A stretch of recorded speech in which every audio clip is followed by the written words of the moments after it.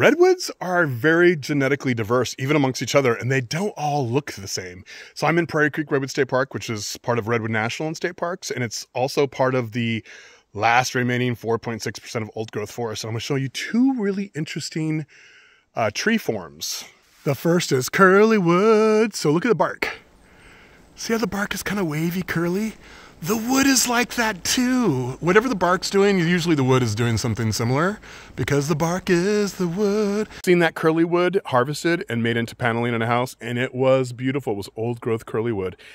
You'll hardly ever see that anymore because there's hardly any old growth left. And the old growth that is left is protected now, thank goodness. And hopefully in another 200, 300 years, we'll start to have some good old growth curly wood so your great, grandkids could panel their house with it again. So notice something trippy about the tree behind me? It's twisty wood. And if you reincarnated as a redwood tree, you'd want to reincarnate as a redwood tree that looked like this. Because these aren't harvested quite as aggressively because the wood is also kind of twisted, so it doesn't make as good as boards. Why is it twist? It's genetic. It's not because the earth spinning, it's not because of the wind, it's not because of the light. It's genetic, we don't know why, but it does make them a little bit stronger, so when another tree hits them, they're less likely to break and fall over.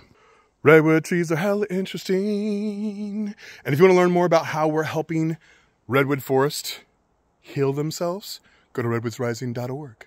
redwoodsrising.org.